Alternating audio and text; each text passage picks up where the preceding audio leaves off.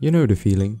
You're scrolling through some Assetto Corsa screenshots and you say to yourself, Man, this looks so good. I should try that myself.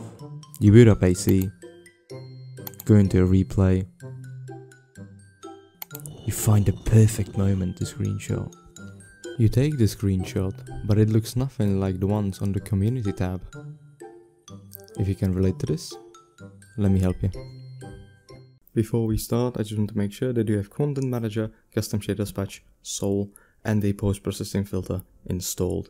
All these things will make your screenshots look way better. If you don't have these things, just watch the video in the top right where I explain how to get these things. Now we need to get our Assetto Corsa set up correctly. First thing, open up your Assetto Corsa root folder. You can do it through Steam like this. Then go to the system folder, CFG folder, and open up Assetto Corsa INI. Find the allow-free camera and change the value from 0 to 1. Secondly, jump into the settings of Custom Shaders Patch. Make sure the nice screenshots is enabled in the settings. Put JPEG quality to 100% and if you don't have a 4K screen but want 4K screenshots, turn the resolution multiplier up to 2x. Okay, so once you are in the replay, first thing you want to do is uh, find the moment that you want to screenshot.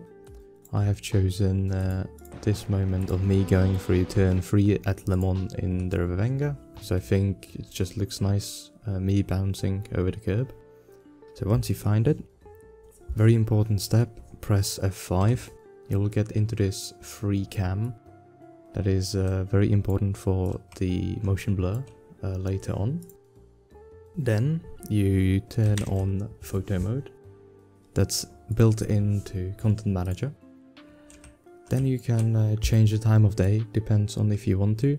I want my screenshot to be uh, in the night, so I'm just gonna make it dark uh, with this time offset thingy.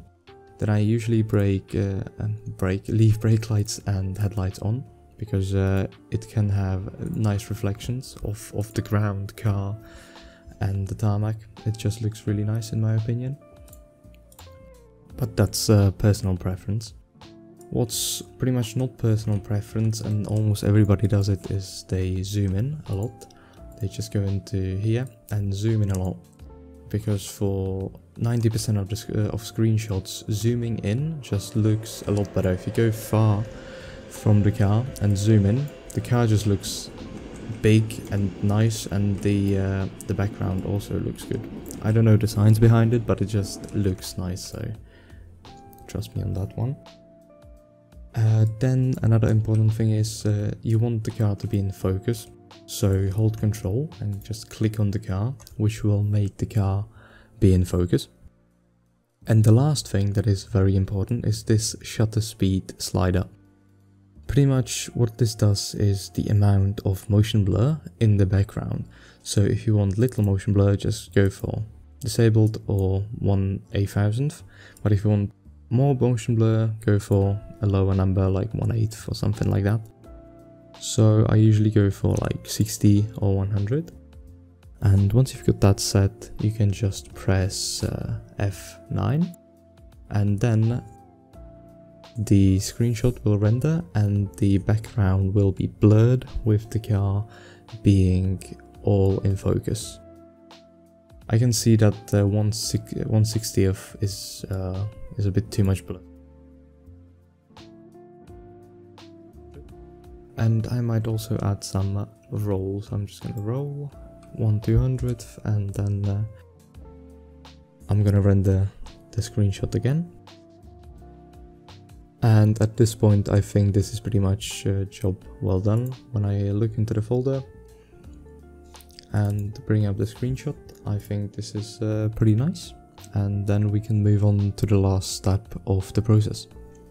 And the last step of the process of making a really nice screenshot is uh, post-processing. I use Photoshop for that. This step is also optional, so if you don't want to do that, don't have Photoshop or any other reason that you don't want to do it, it doesn't really matter, but it makes the screenshot look just a bit nicer and uh, it will make everything pop a little bit more. So uh, as I've got a uh, 4K screenshot, I can uh, size it into this uh, uh, normal full HD window. So I'm just gonna make it this big and put it in the middle. Might just make the car a bit bigger than it was on the 4K 4K screen. And then I'm just gonna go into filters and filter camera raw. And in this uh, in this window I can change stuff like uh, the exposition, contrast, um, lights, shadows, and everything that might be uh, nice to change. And this really depends on what style you want. If you want like a very contrasty dark style, because you've got this uh, night night screenshot with very bright lights that might be what you're going for. So I might just like get the exposition bit up contrast a bit up and uh, I'm gonna go with the lights a bit up and shadows a bit down.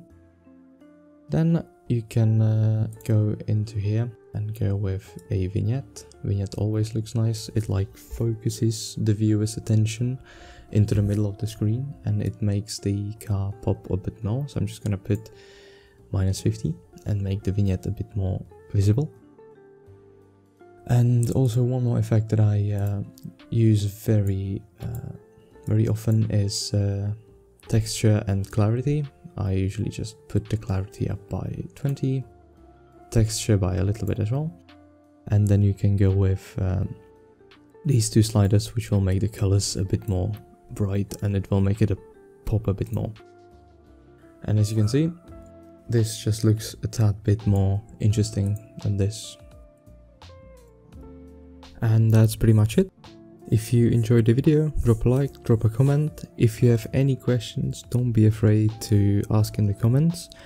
And whilst you're at it, you can watch this uh, other video that YouTube thinks you'll like. So yeah, see ya.